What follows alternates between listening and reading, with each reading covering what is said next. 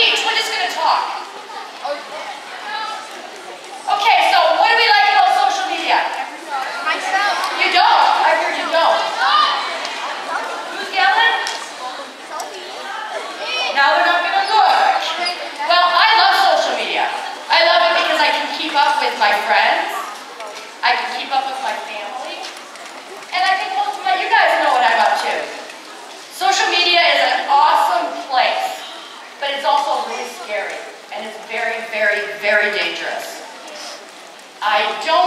I can express to you, I mean, you, you've seen it. You, you've heard about the horrible things that, that can happen. And I never, ever, ever want to ever see that happen to you. So I'm going to give you a few little key tips on how to stay safe. First thing is, you never give out personal information. Your address, your phone number. Is there anything else you shouldn't give out on, on social media? Passwords. Good, good, good. I got burnt with that one. I got burnt with that one real bad. What about the name of your school? No. Or even if you're doing a picture or video and you happen to be wearing your school shirt.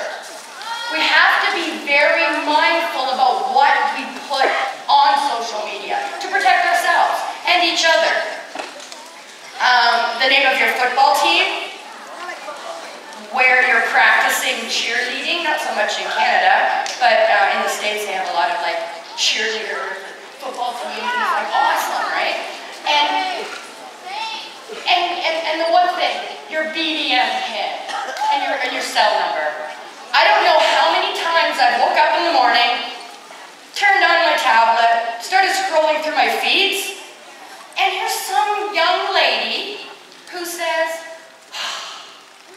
I'm bored. It's 2 o'clock in the morning and I can't sleep. Someone text me. Here's my number. I, I almost cry. I cannot believe how unsafe that is. And we just need, for a few simple rules, A few simple rules is going to keep us safe. Not completely safe. We have to look after ourselves.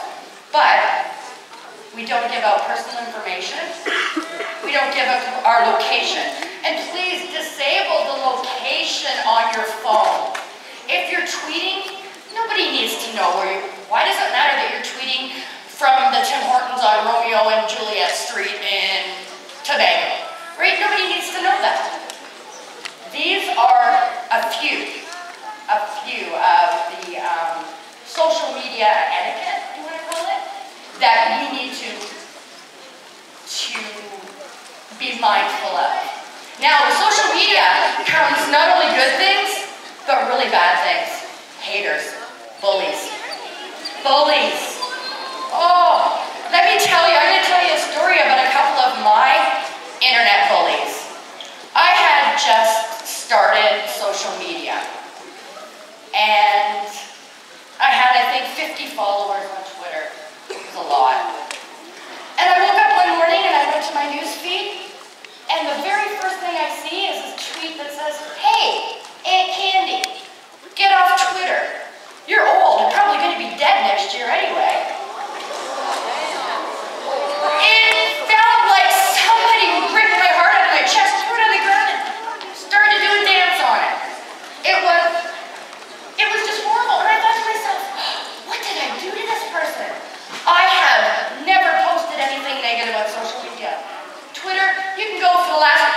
my Twitter. I call out posers, but I do it in a very respectful way. I don't ever want to make anybody feel embarrassed or in some way shamed by something I say. That's not, that's not what I'm, that's not what I'm all about. I'm about rising people up and showing them the beauty within them, within themselves, within each other. We need to embrace our differences, not hate on them. And this, this hater of mine, and we'll call him a gentleman because that's okay. That's okay. I simply responded, at first before I responded to him, I started to go back through his Twitter. And I was like, what could I have done, me personally, to make this, this gentleman hate me so much? So I start flipping through his Twitter account. Lo and behold, he had not, he had, did not have a problem with me. He had a problem with my nephew. And he hated him. And I don't say that because I like the word, I do not like the word hate. He despised him. And because it wasn't getting to Justin when he was tweeting, he started to attack the family. My family is not a stranger to things like this, but we know that it isn't about us. And we know that people, what they don't understand, they hate. Not all the time, but as a rule. So instead of hating, let's ask questions. Let's ask questions if you see something on social media and you don't understand, instead of saying, oh, I wish you would just jump off a bridge. Say, dude, why are you doing that? Maybe you'll get the answer and you'll understand. Hate is a horrible, horrible feeling. When we're born, we don't know how to hate. That is a learned behavior. We are taught how to not like hate. talking how to about hate not hating. Talking about So if we can learn how to, how, if we've learned how to hate, we can absolutely retrain our brain. And we can teach ourselves how to love and embrace each other. I mean, hugs. Hugs are the big thing. Where are my huggers? Did I lose my huggers? Hello? Where did they go? I swear I had people here who wanted to hug. I guess he left. Matt. Oh, I guess they were looking for hugs because I believe that hugging. Not everybody likes to, to, to touch. And I get that and I understand that. But I believe to me that is like a form of love. And I'm, I'm talking pure love. Just, I love you. I think you're an amazing person. And I am so thankful that you're here on this earth. You, you are just so beautiful. Do you know how beautiful you are? Do you know how special you are? Because you are amazing. You all are. Everyone, everyone in here has a qualities that makes us beautiful, that makes us amazing. And then we have a few people, we have the few people who decide that even when you're telling the truth, they don't believe you. I have now, I, I have a, a site that I uh, regularly post on. It's Keek. It's a 36 second video app. And what I did was, I went out simply said who I was and what I was doing. I explained that I just wanted to start a movement, a love revolution. A revolution that is going to embrace everyone. It doesn't matter your differences, it doesn't matter. Nothing matters, just that we're all here, we're all doing the same thing, and we need to respect each other. And from that, I got this. Now, I don't know if you're going to be able to hear this, but I actually got a recording from my hater. And I simply, she had posted, I had 20 or 25 Keek videos out there. She went to every single video and said something terrible about me. She's a liar. She doesn't know who, she's, who she says she knows. I want the police called. She's an identity stealer. You need to get rid of her. This is what she's telling the website. I knew the website. I talked to them personally. They knew who I was. I was okay. My site was okay. But this is what, after I called her out and said, look, man, I'm not a liar. I'm not a fraud like you think I am. I'm simply a person trying to help the world. And, and I want to start with the children, the kids. You guys are our future. You guys are the future, and we need, we're depending on you, and we need to know that everything's in check, that we don't hate, we love. Love is the answer. And for this, her name is, we'll call her Julie. After I called her out, and then I went to private message, I said, why did you say such nasty things about me? You don't even know me. You don't know anything about me. You didn't ask any questions. You just said, that's it. I don't like you. I won't stand for that. That's not fair. I, have, I deserve a chance. If you don't like me afterwards, then that's great. At least I give it a fair shot. I'm hoping that you're going to be able to hear this because this is her response to me saying, I'm trying to stop people. I'm trying to help the children. I'm trying to help them from people like, well, like you, the bullies of the world. Now let's see if we, I'm hoping that this starts out. Hi, I just want to say again, I am so sorry and thank you for being so forgiving. You didn't have to be. You could have easily said, you know, get that, whatever, off my page and blocked or reported or whatever, because it was pretty mean when I what I typed and what, you know, the way I left that comment. I get angry sometimes when I see people doing that, and I should have waited out, I should have waited for your answer on your Keek when I asked if you were really his aunt. I'm so, so sorry. Now for that, I was so respectful of this woman because she not only admitted she was wrong, she made videos upon videos. And every time she finds a student or a, a young person who is searching, she sends them my way, just for somebody to talk. And for that, I'm eternally grateful. I took a hater and I made her into a friend. That's important. And that's what we need to do. We need to show the world that there's, there's no room for hate, only love and compassion towards our fellow man. Okay, so now that I've got my haters out of the way, because every day I wake up and there's another one. Once again on social media. Number one, we don't get any information. Number two, block and report them. Then they're gone. And ask your friends to do the same, then they're gone. If they talk about you, you don't know. And honestly, most of the most of the, the haters out there don't deserve a response. The things they say are just so ludicrous, I kind of giggle. But it's the people who take it personally, and you need to not. If someone goes on there and says, ew, that was the ugliest dress I've ever seen, I can't believe you wore that today. That's their opinion. Don't worry. What their words don't mean anything. They don't define you. What people say about you don't doesn't define you. What defines you is the way that you act, the way that you conduct yourself, the way that you show the world that you're willing to accept and embrace change and difference. That is so very, very important. So I started uh, to write out a speech, but I didn't want this to be about a speech. I wanted this to be just a chat.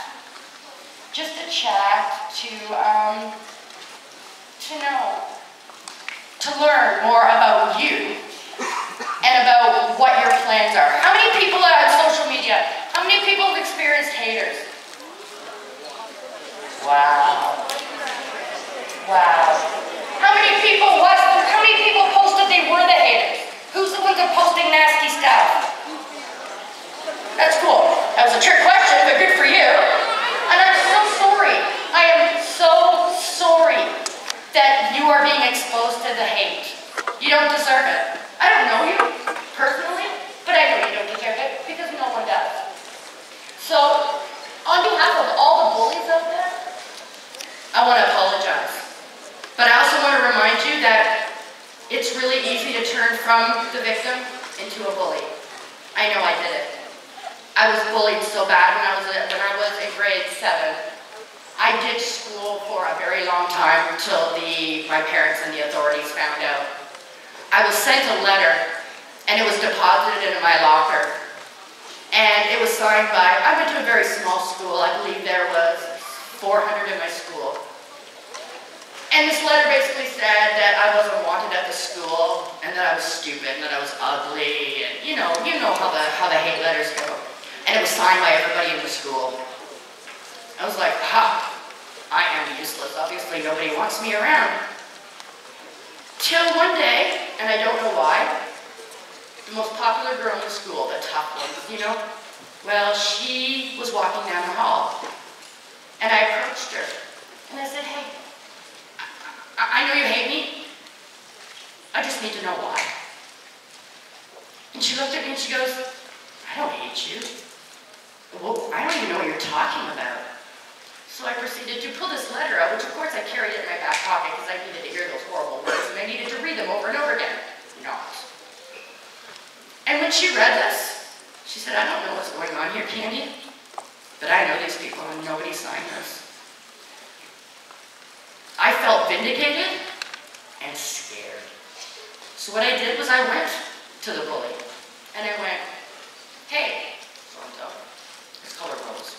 Hey, Rose, um, I was just talking to uh, her back there, and she said she has nothing to do with this letter. What are you talking about?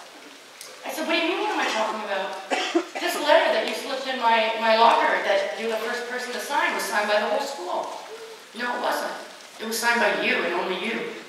And how dare you put me through that? How dare you? And I was so angry. I became a bully. And I started treating people badly. And I didn't even realize I was doing it. I thought I was standing up for myself. But there's a fine line between standing up for yourself and just being mean.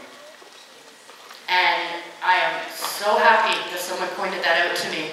I could not have gone through my whole life being a bully. I couldn't, my heart couldn't take that. I have so much love in my heart to give, and I believe that that's why I'm here. I believe I'm here to share it, and I want to share it with you.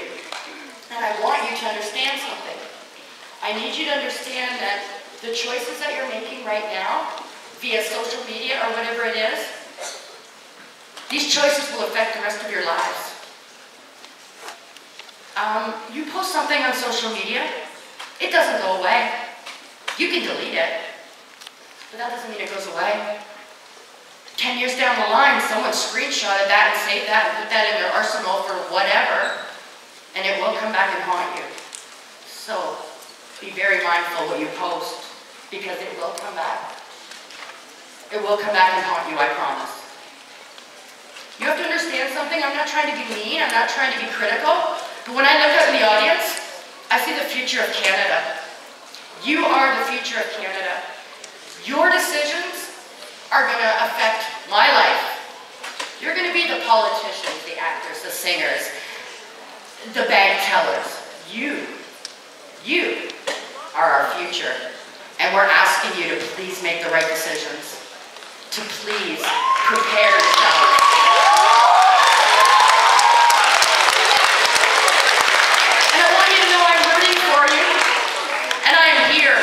You can get a hold of me almost any time of day or night. I'm on social media. My name is Aunt Candie. And I want you to know that I'm honored that I was given a chance to spend some time to speak with you today. And I can't wait to see what you have in store for us as Canada, as Canadians. On behalf of Aunt Candie's Awareness and Canada, I want to thank you for being our future.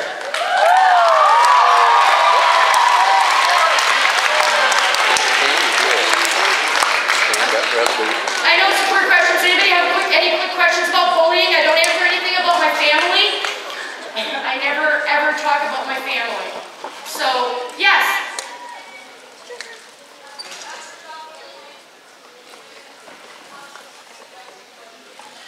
They didn't, they didn't have social media when I was a kid. we had pencils and paper. no, I didn't. I actually have only been on social media for about five years. But thank you, that was a great question. Is there anyone else? Yes. How many times I bullied as a child? a lot. A lot.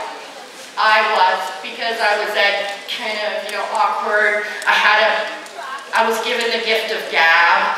So yeah, I did talk a lot. I did, I did get bullied, but you know what? I'm a better person because I stood up and I said, I'm not going to take it anymore. I'm going to be me, and everybody, if you don't like it, that's okay, but I'm going to be me. Okay, right